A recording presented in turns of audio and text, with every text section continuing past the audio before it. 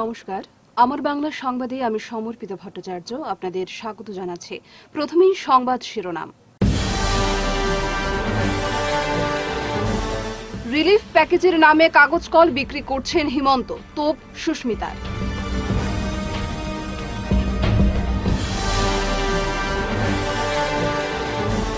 শিবঝাড় উচ্ছেদ অভিযান ইস্যু, ভাগাবাজারে প্রতিবাদে সরব সিপিআইএম।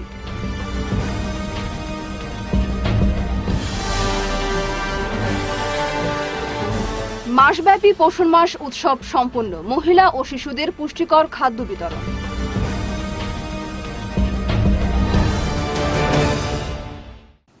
এবারে বিস্তারিত আমার বাংলা সংবাদ।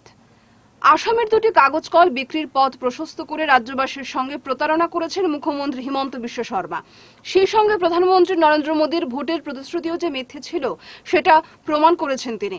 এভাবেই মুখ্যমন্ত্রী হিমন্ত বিশ্বকে কাগজ কল ইস্যুতে কাঠগড়ায় তুলেছেন তৃণমূল সাংসদ সুস্মিতা দেব।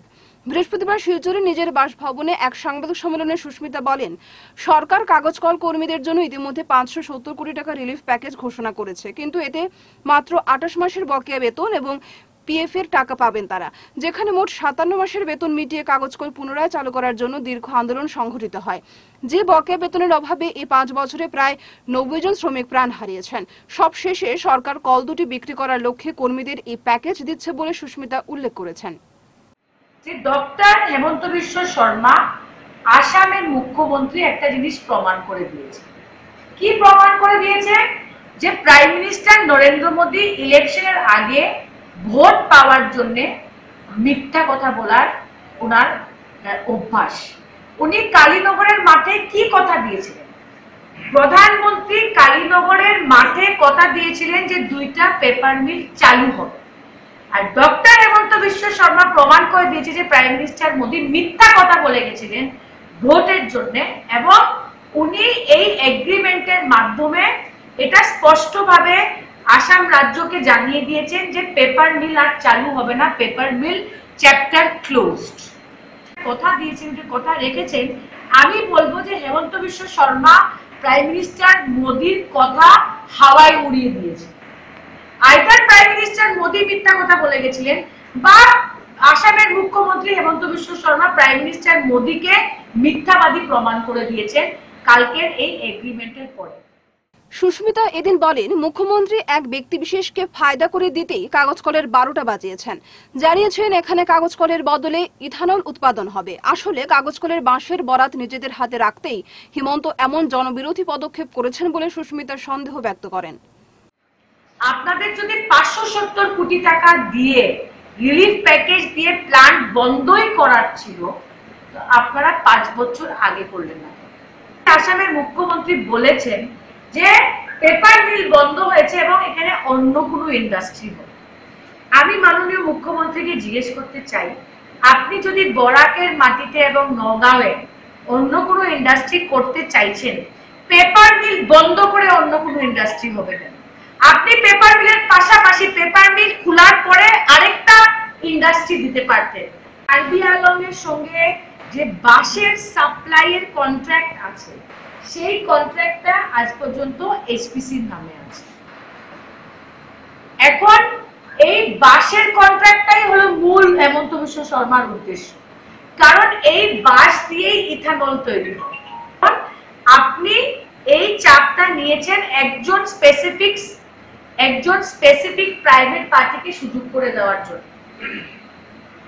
আপনি যদি চাইতেন এই বিজেপি সরকার যদি চাইতো পাঁচ বছর আগে এই পদক্ষেপ নিল না কেন? কারণ এখন এরকম কোনো অফার আছে নাকি যেটা দিয়ে বিজেপির কোনো বড় নেতার ছেলের বেনামে এথালনের ফ্যাক্টরি হবে? আমি জিজ্ঞেস দরং জেলার শিবঝাড়ের গরুখুটিতে উচ্ছেদ অভিযানের প্রেক্ষিতে বিক্ষোভ প্রদর্শন করল সিপিআইএম।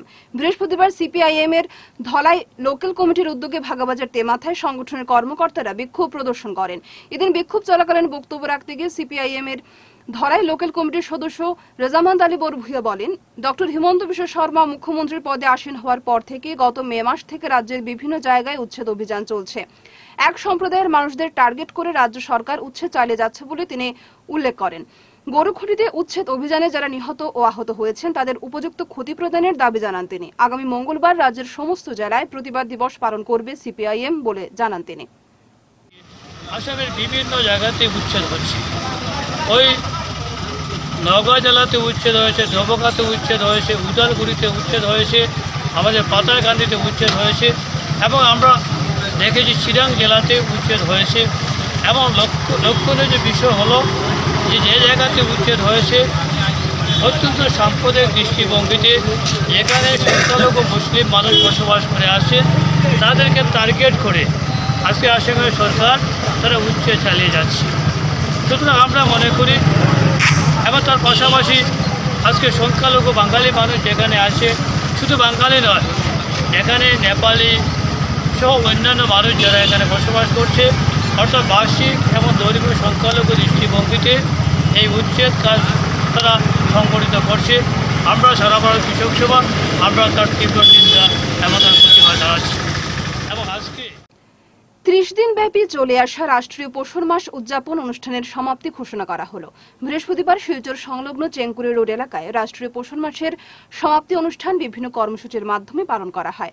শিলচর রুরাল আইসিডিএস প্রজেক্টের উদ্যোগে আয়োজিত এদিনের অনুষ্ঠানে চার নং, আটানব্বই নং ছিয়ানব্বই নং সহ একশো ছয় নং অঙ্গনওয়াড়ি কেন্দ্রের কর্মীরা যৌথভাবে অংশগ্রহণ করেন। এদিন প্রদীপ প্রজ্বলন সহ উদ্বোধনের সঙ্গীতের মাধ্যমে অনুষ্ঠানের শুভারম্ভ হয়। সাত ভক্ষণ অনুষ্ঠানের মাধ্যমে পুষ্টিকর খাদ্য তুলে দেওয়া হয়। জেলার বিভিন্ন গ্রামাঞ্চলে থাকা গর্ভবতী মহিলা সহ শিশুদের বিশেষ যত্ন নেওয়ার পাশাপাশি পুষ্টিকর আহার সম্পর্কে জনগণকে সচেতন করেন সংস্থার কর্মকর্তারা। এদিন পোষণ মাসের তাৎপর্য তুলে ধরে একটি পোষণ বাটিকারও আনুষ্ঠানিকভাবে উদ্বোধন করেন অঙ্গনওয়াড়ি কর্মীরা। এছাড়া জেলার প্রত্যেকটি অঙ্গনওয়াড়ি কেন্দ্রকে সরকার অনুমোদিত করতে দাবি জানান তারা। সুস্বাস্থ্য গঠন সহ সুসংহত শিশু উন্নয়ন প্রকল্পের বিভিন্ন দিক তুলে ধরে আগামীতে সমাজ থেকে পুষ্টিহীনতাকে দূর করতে সকলের সহযোগিতা কামনা করেন সংস্থার কর্মকর্তারা। এদিন সভা শেষে বিভিন্ন সাংস্কৃতিক অনুষ্ঠানের মাধ্যমে ত্রিশ দিনব্যাপী রাষ্ট্রীয় পোষণ মাস অনুষ্ঠানের সমাপ্তি ঘোষণা করেন সংস্থার কর্মকর্তা।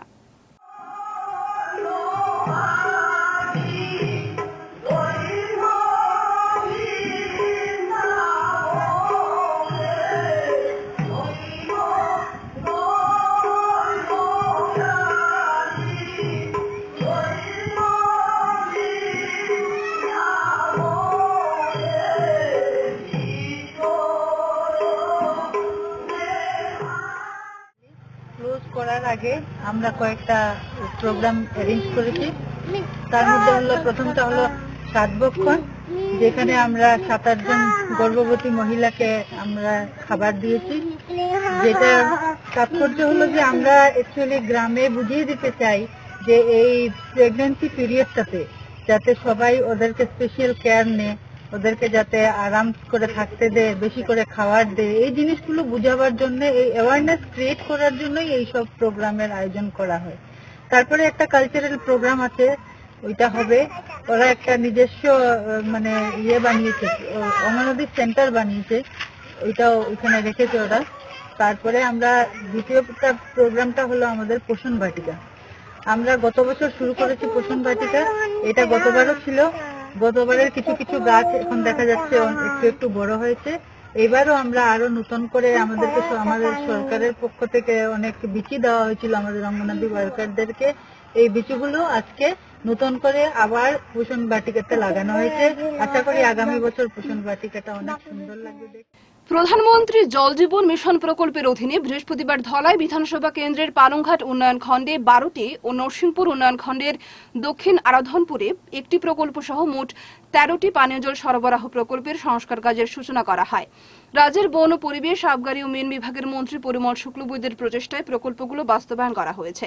এদিন মন্ত্রী পরিমল শুক্লবৈদ্যের নির্দেশে স্থানীয় জেলা পরিষদ সদস্য স্বপন কুমার দাস সহ বিজেপি নেতৃবৃন্দ সেই প্রকল্পগুলোর উদ্বোধন করেন। সভায় বক্তব্য রাখতে গিয়ে বক্তারা বলেন, আমরা যা তা বাস্তবায়িত বাস্তবায়িত করেছে। আমাদের এই সুনাই নদীতে চারটা ব্রিজ হয়েছে, বড় বিরাট আকারের ব্রিজ মালগ্রামে একটা হয়েছে, পালংঘাটে একটা হয়েছে ঝুরকালে একটা হয়েছে। জন্মিতে একটা কাজ চলছে আমরা আমরাঘাটের প্রস্তাব দিয়েছে, কাজ হবে। ঝুলনপুরের কাজ করার প্রস্তাব দিয়েছে। হচ্ছে। শুধু আমরা ব্লকের কথা বলছি এত কাজ বিগত পাঁচ বছরের সময়কালে মন্ত্রী মহোদয় করেছেন। ভূপন পাহাড়ের রাস্তা চলছে, যা আমরা স্বপ্নে ভাবতে পারিনি। জুরকালে জুরকালে আপনার ধোলাকাল আছে শেখারসাম ওই অঞ্চলে পাহাড় কেটে বিরাট আকারের রাস্তা হয়েছে এইসব সম্ভব হয়েছে আমাদের পরিমল শুক্রবৈদ্য দৌলতে পরিমল শুক্রবৈদ্য আসাম সরকারের বরিষ্ঠ মন্ত্রী যাকে নিয়ে আমরা গলায় কাছে গর্ব অনুভব করি উনি আমাদের গৌরব উনি আমাদের হৃদয়ের সম্রাট উনি আমাদের সম্পদ এদিনের সভাতে অন্যান্যদের মধ্যে উপস্থিত ছিলেন বিজেপি পালংঘাট মন্ডল কমিটির সভাপতি Somen Das, Assam Bengali union Parishad chairman Rupam Saha, Dhalai মধ্য জেলা পরিষদ সদস্যের প্রতিনিধি কমলেশ দাস প্রমুখ। শিলচর পুর এলাকায় আসন্ন শারদীয় উৎসব সুন্দর ও সুষ্ঠুভাবে অনুষ্ঠিত করার উদ্দেশ্যে বুধবার পুরসভার সভাকক্ষে এক সভা অনুষ্ঠিত হয়। এতে প্রাক্তন পুরসভাপতি নিহারেন্দ্র নারায়ণ ঠাকুর, প্রাক্তন সাংসদ তথা অধ্যাপক কমলেন্দু ভট্টাচার্য, চয়ন এন্দু, কংগ্রেস নেতা তমালকান্তি বণিক সহ প্রবীণ নাগরিক, রাজনৈতিক ব্যক্তিত্ব, ওয়ার্ড কমিশনাররা। বিভিন্ন বিভাগীয় আধিকারিকগণ আসন্ন দুর্গাপূজার বিসর্জন, ফুটপাত সংস্কার, সাময়িকভাবে শহরের বিভিন্ন এলাকায় পর্যাপ্ত আলোর ব্যবস্থা সহ পানীয় জল সরবরাহ, কোভিড পরিস্থিতির জন্য নেওয়া সাবধানতা তথা সচেতনতা নিয়ে বিস্তারিত আলোচনা করেন। সভায় পূর্ত বিভাগ থেকে জানানো হয় যে, বরাক নদীর উপর নতুন সেতুটিতে আলোর ব্যবস্থা এবং ফুটপাত সংস্কারের কাজ অগ্রসর করা হচ্ছে। এপিডিসিএল থেকে জানানো হয় উৎসবের দিনগুলোতে বিদ্যুৎ সরবরাহ নিরবচ্ছিন্নভাবে বহাল থাকবে। আভ্যন্তরীণ জল পরিবহন বিভাগের পক্ষ থেকে জানানো হয়েছে, বিসর্জনের সময় যথাযথ নৌকোর ব্যবস্থা রাখা হবে এবং বালি, পাথর, মাটি ইত্যাদির ব্যবস্থা রাখা হবে বলে বন বিভাগের তরফ থেকে জানানো হয়। এছাড়া অ্যাম্বুলেন্স, মেডিকেলের টিমের ব্যবস্থা থাকবে। শিলচর রেল স্টেশন সংলগ্ন রাস্তার পাশে আবর্জনা নিষ্কাশনে এগিয়ে এলো তারাপুর ব্যবসায়ী সমিতি ও নিউ এরিয়ান্স ক্লাব তারাপুরের কর্মকর্তারা।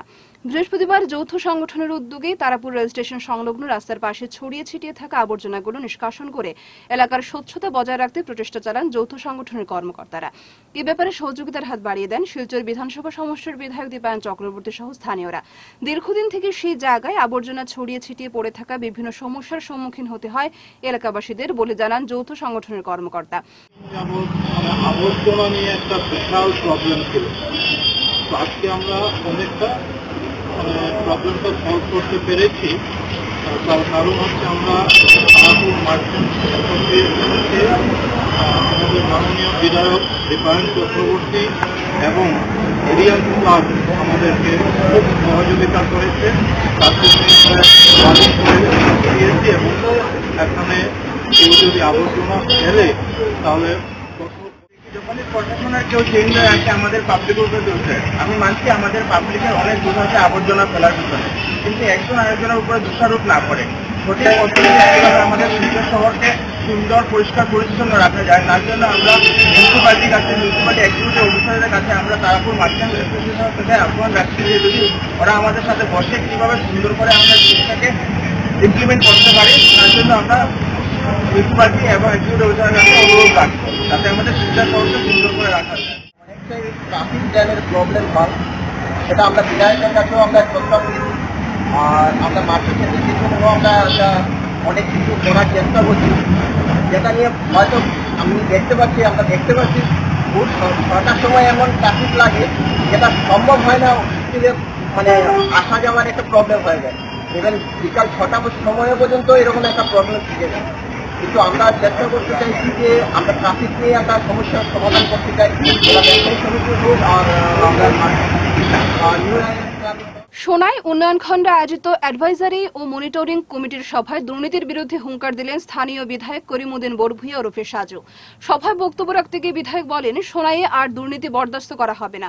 কেউ সরকারি কাজে দুর্নীতি করলে তার পরিণাম অনেক ভয়াবহ হবে বলে জানান তিনি। এছাড়া আত্মনির্ভরশীল নারী প্রকল্পে কেউ অনিয়ম করলে সোজা তার বিরুদ্ধে থানায় মামলা দায়ের করার হুঙ্কার দেন বিধায়ক। পরে বিধায়ক করিমুদ্দিন বরভুইয়ের পৌরোহিত্যে প্রকল্প বাস্তবায়ন অ্যাডভাইজারি ও মনিটরিং কমিটির সভায় এক যৌথ কমিটি গঠন করা হয়। এদিন জল জীবন মিশনের আওতায় মেনিপুর দ্বিতীয় খণ্ডে প্রায় বাহান্ন লক্ষ টাকা ব্যয় সাপেক্ষে নির্মিত পিএইচি প্রকল্পের ফলকের উদ্বোধন করেন বিধায়ক।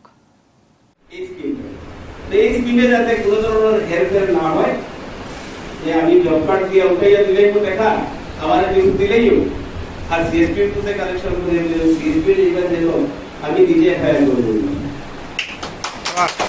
আত্মনির্ভর স্বনির্ভর মহিলার যদি কোনো ধরনের কোনো গাফিলতি হয় এজ এ ব্লকের চেয়ারম্যান স্ট্রেট এফআইআর আমি করব কোনো কম্প্রোমাইজ নেই। এটা পরিষ্কার আমার কোনো উইকনেস নাই এটা একদম ক্লিয়ার কাট এটা কোনো কম্প্রোমাইজ নেই স্ট্রেট ফরওয়ার্ড আমি কমিশন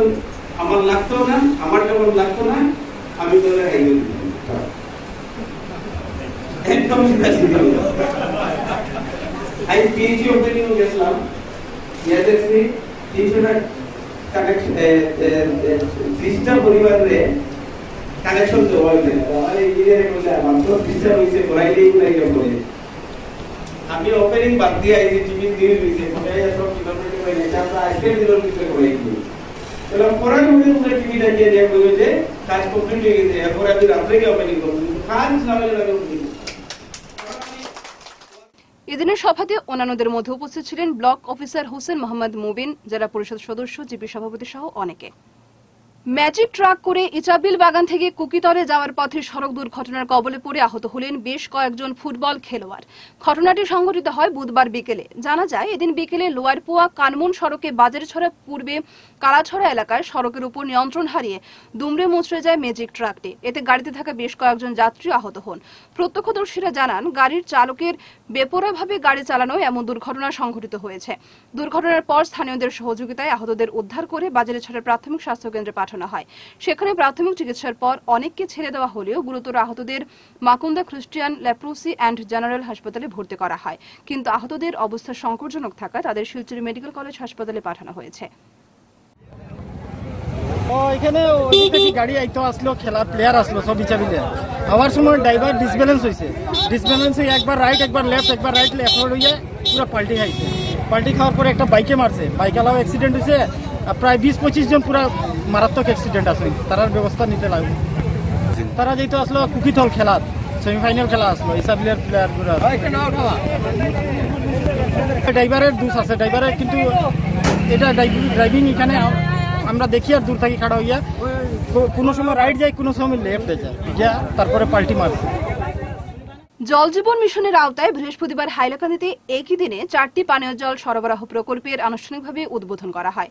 এদিন লক্ষ্মীনগর বাগানে পানীয় জল সরবরাহ প্রকল্পের আনুষ্ঠানিকভাবে উদ্বোধন করেন সাংসদ কৃপানাথ মালা পরে এ মর্মে এক সভা অনুষ্ঠিত হয়। এতে বক্তব্য রাখতে গিয়ে সাংসদ মালা বলেন, লক্ষ্মীনগর পানীয় জল সরবরাহ প্রকল্প থেকে একশো একান্নটি পরিবারকে পানীয় জলের সুবিধা প্রদান করা হয়েছে। উদ্বোধন অনুষ্ঠানে অন্যান্যদের মধ্যে উপস্থিত ছিলেন হাইলাকান্দির বিধায়ক জাকির হোসেন লস্কর, জেলাশাসক রোহন কুমার ঝা পিএচির এই মেঘা দাস প্রমুখ। এছাড়া এদিন বর্ণিব্রিজ জিপিতে ও ধলছড়া বিলাইপুর জিপিতে পানীয় জল প্রকল্পের আনুষ্ঠানিক উদ্বোধন করা হয়। লক্ষ্মীনগর, বাগান ওয়াটার সাপ্লাই স্কিমের উদ্বোধন হলো। এটা একটা পুরানো স্কিম ছিল আগে, এটা বন্ধ ছিল বিভিন্ন কারণে। ওয়াটার রো ওয়াটারের ব্যবস্থা ছিল না। এখন এখানে বোরিং করা হয়েছে। এখান থেকে রো ওয়াটার আন্ডারগ্রাউন্ড ওয়াটার নেওয়া হচ্ছে। এবং এই স্কিমটাকে আরও রিনোভেশন করে, সুন্দর করে বানানো হয়েছে। এখান থেকে কানেকশন দেওয়া হয়েছে হাউস কাউন্সিলর একশো একান্ন জনকে। One fifty one house connection দেওয়া হয়েছে। বাকি কিছু মানুষ আছে, রয়ে গেছে, এবং ওরা একটু টিলাতে আছে। তার জন্য এখানে এই ফোর্সের জল পাবে না। তার জন্য আরেকটা স্কিমের প্রপোজ দেওয়া হয়ে গেছে অলরেডি এটা আসবে। আসার পর বাকি মানুষকে কানেকশন দেওয়া হবে। এইটা সুন্দর স্কিম হয়েছে, এটা থেকে মানুষ জল পাবে। বুধবার দু হাজার কুড়ি একুশ সালের দুটো প্রশিক্ষণ কোর্সের প্রশিক্ষার্থীদের মধ্যে সার্টিফিকেট প্রদান করল আইআইএসডি প্রশিক্ষণ কেন্দ্র। এদিন দুপুর একটা নাগাদ কলেজ রোড প্রশিক্ষণ কেন্দ্রের কার্যালয়ে তা প্রশিক্ষার্থীদের মধ্যে তুলে দেন বিভাগীয় কর্মকর্তারা। শেষ করার আগে বিশেষ বিশেষ আমার বাংলা খবর আরও একবার। রিলিফ প্যাকেজের নামে কাগজ কল বিক্রি করছেন হিমন্ত, তোপ সুস্মিতার।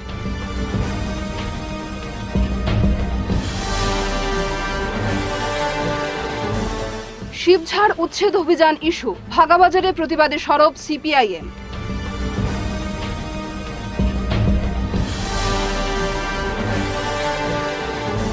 মাসব্যাপী পোষণ মাস উৎসব সম্পন্ন মহিলা ও শিশুদের পুষ্টিকর খাদ্য বিতরণ।